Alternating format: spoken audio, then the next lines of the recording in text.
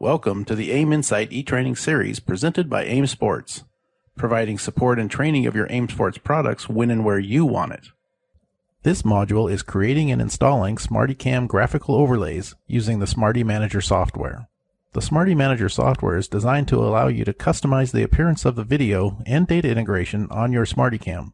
In this video, we will explain how to create a new configuration with multiple objects, including placing and configuring a track map overlay. Here is a playing video with the data integration and map overlay already configured. This video has eight objects that were previously configured. The first couple objects highlighted here are sponsor or track logos. Later I will show you how to create and place logos. Here in the lower right side of the video is five different objects including speed, RPM, throttle position, lap number and times, and g-forces is the last object to the left. And finally, in the lower left-hand corner is the map overlay. As you can see, a small marker is linked to the vehicle's position on the track to clearly understand where the data and video integration is positioned on the track. Now that you have seen the final product, let's look into how this is accomplished in the Smarty Manager software. Here is what the Smarty Manager software looks like when you first open it. To start the process of creating a new configuration, click on the SmartyCam Configurator button. This opens the configuration section of the Smarty Manager software. To create a new configuration, click on the New Configuration button.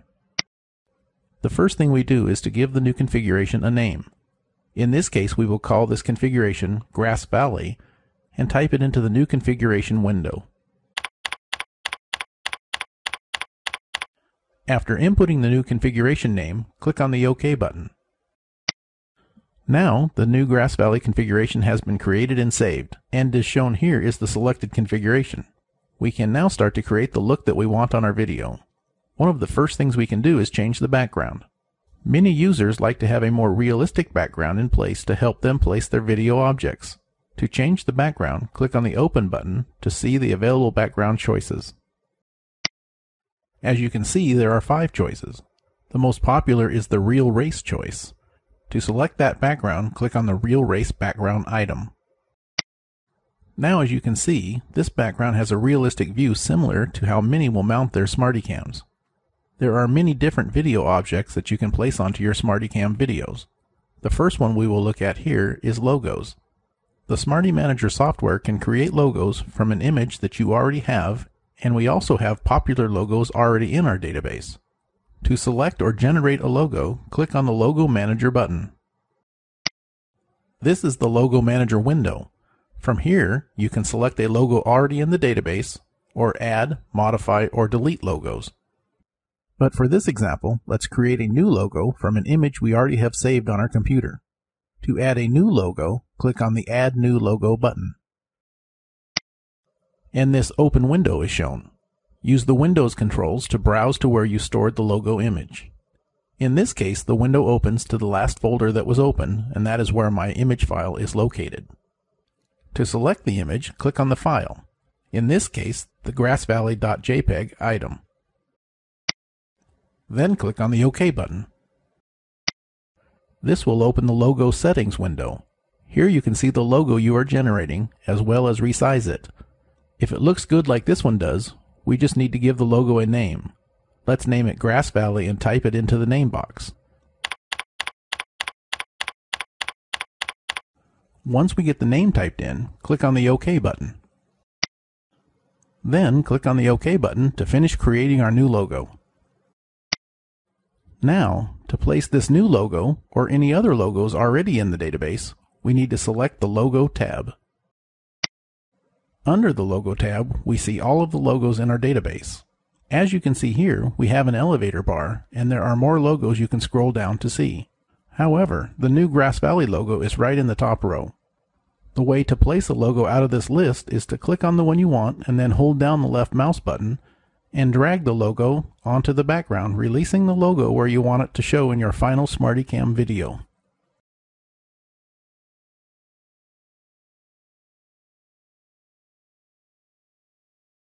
There, we have placed it where we want it. The next thing we can do is add other video objects. The software provides nine different sets with different styles. Here we're going to open the tab marked Set 5 and look at what is available. Each set has similar objects but with different styles. From set 5, let's add a few different video objects onto the background and place them where we think they would look good. This works the same way as with the logo placement. Just click on the one that you want and then hold down the left mouse button and drag the object onto the background and release where you want the object to show in your final SmartyCam video. First, let's start with the measures set double. Perfect. Now let's select the lap number and time object and drag it onto the background. The next item we want is down lower than we can see, so again we have an elevator bar. Let's scroll down to find more video objects. The next object is the date and time. This object is helpful so you can easily identify when the video was taken. Again, drag and drop it onto the background where we want it shown in the final SmartyCam video. Now let's scroll down a little bit further and place a text box video object onto the background that we will configure with the driver's name.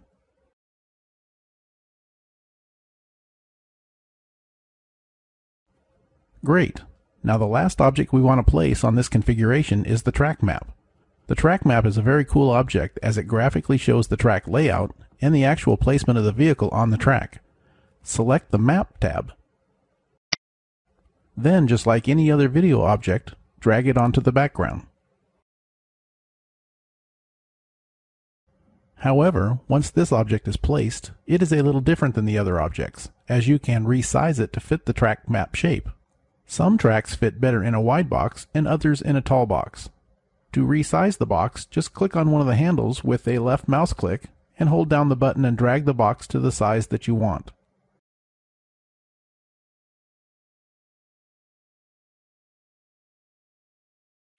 In this case, the track fits into a fairly square box. Be aware that you will not see your actual track map in this box, but understand that the software will do a best fit of your track map into the box you create here, so you really can't go wrong. Okay, now that we have placed all the objects onto our background, some objects may need to be configured. Here are several tabs that control the configuration of each video object we have placed. The first tab is the Grass Valley logo, and we are happy with the size that we set it at.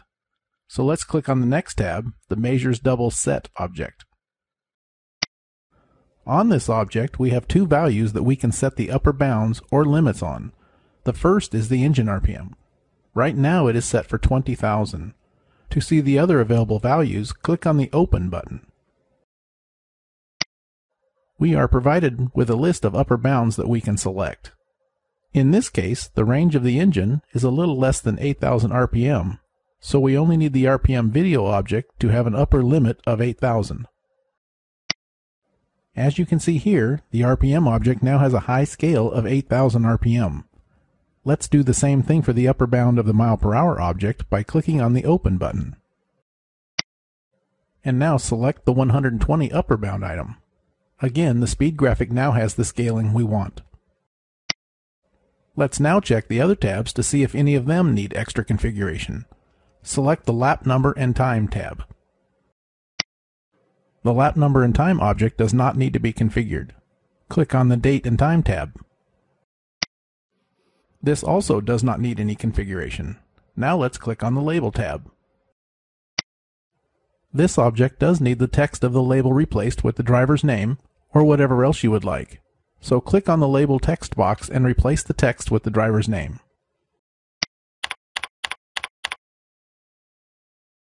Perfect. The last tab in this configuration is the track map. Select the track map tab. Here we can set the dimensions of the track map object, but since we already did this with our mouse earlier, we are done configuring the video objects. There are a couple more settings I want to show you here in the configuration section. The software allows you to set a custom prefix that will be applied to all video files generated using this configuration. To set a custom prefix, click on the Set Movie Name button.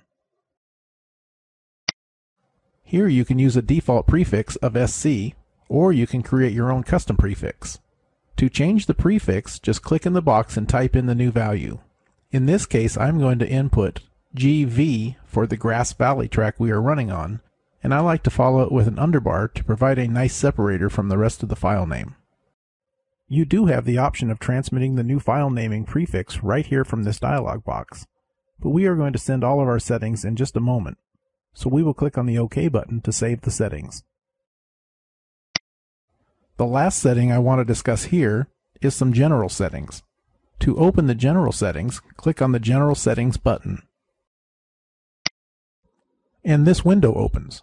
Here we can set the default unit types for this new configuration as well as any more new ones created in the future. As an example, let's click on the Open button for the speed setting. And as you can see, you can select kilometers per hour or miles per hour.